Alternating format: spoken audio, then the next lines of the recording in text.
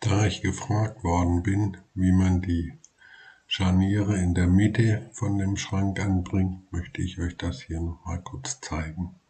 Die innere Wand hat Bohrungen auf der glatten Seite und selbst da muss man die Muttern drunter legen. Die Muttern sind zu groß, die dienen wirklich nur als Abstandshalter.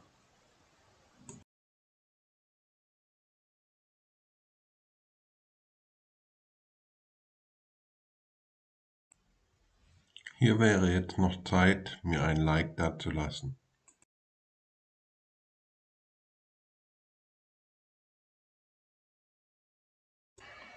Nachdem ich jetzt gesehen habe, wie viel Metallstaub sich unter den Scharnieren gesammelt hat, würde ich die Scharniere vor dem Einbauen etwas fetten.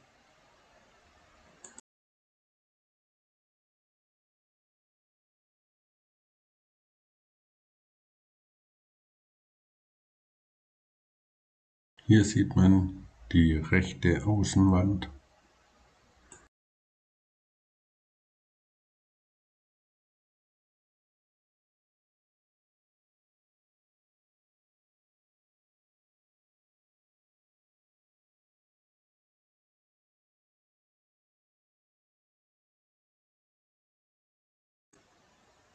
Und hier sieht man jetzt die Scharniere an der Innenwand.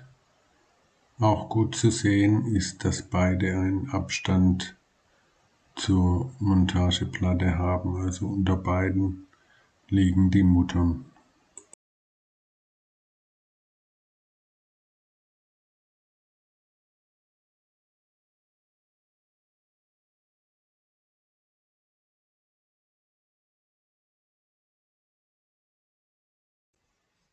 Wer mag, kann mir natürlich auch gleich noch ein Abo dalassen.